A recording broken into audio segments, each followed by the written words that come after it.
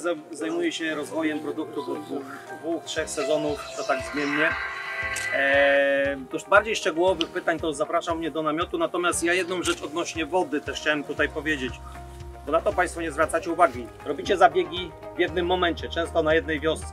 Jak odkręcicie kurek, to spytajcie w wodociągach, często wyrywakami. Tam są jeszcze dwa składniki, jest niezredukowane żelazo i niezreduko- niezredukowany mangan, który Wam ogranicza działanie substancji aktywnych w wielu produktach. Woda teoretycznie powinna być przygotowana wcześniej. Odnośnie Benevi, trzy rzeczy żeby to działało, bo jak słyszę, że tak, bo ja bym chciał tak, żeby to działało, jak był chloropiryfos. Albo się przenieść tam, gdzie stosuje się chloropiryfos, albo podejść troszeczkę inaczej, czytać etykietę. I te trzy rzeczy. Pierwsze, w właściwym momencie zastosować. To jest tak, jak na latu, bo mówimy tu generalnie powiedzmy o wciornastku, też są zarejestrowane, jeszcze jest yy, śmietka, kiełkówka i miniarka porówka. Ale jeżeli mówimy o wciornastku, pierwsza rzecz to jest tak, mają Państwo w etykiecie, kiedy szkodnik nalatuje, kiedy szkodnik składa jaja, ostateczny termin, kiedy zaczynają wylęgać się larwy. Dlaczego? Pozwolę sobie wyrwać. Ta cebula może jeszcze nie jest najgorsza, bo widziałem gorsze.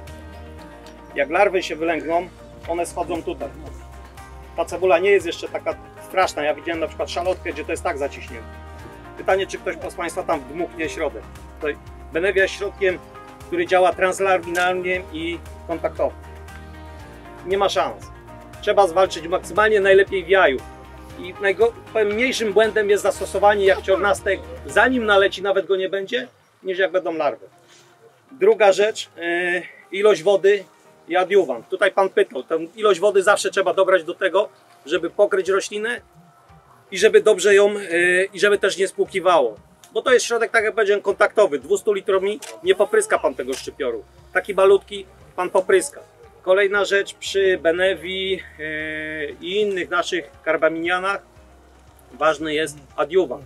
I to nie na zasadzie takiej, jaki stoi na półce, albo jaki nam podadzą w sklepie. My mamy doświadczenia tylko z adiuwantami na bazie estrów rzepaczanych. I generalnie to powinno być 95%. Taki mamy. Popularny jakiś tam Atolan Bio. Ja robię ostatnie doświadczenia, bo to mi Jor Poznański nawet polecił yy, tej samej firmy produkt Entomax. Przepraszam, że reklamuję, ale mam, mam doświadczenia, ale jakikolwiek inny, ale na bazie estrów rzepaczanych, nie silikonów, bo nie działa. Nie oleju rydzowego, bo nie działa. Czy oleje mineralne działają, tego już nie wiem. I trzecia rzecz ważna w karbaminianach to jest umiejętność oceny, czy preparat jeszcze działa.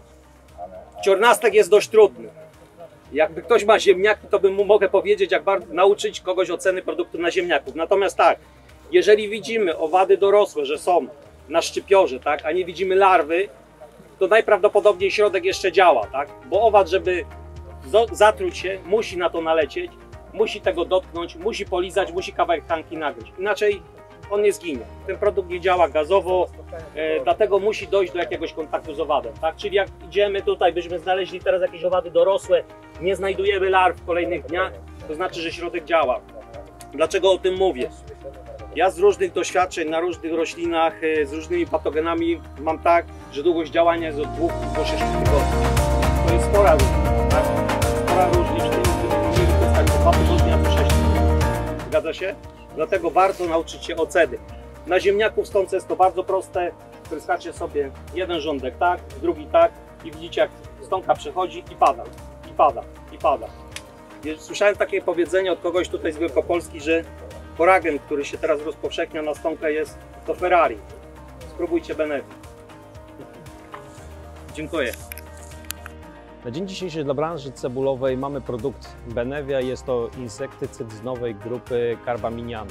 Insektycyd o bardzo długim działaniu, dość szerokim spektrum zwalczanych insektycydów, przy czym w cebuli są to trzy szkodniki, podstawowe szkodniki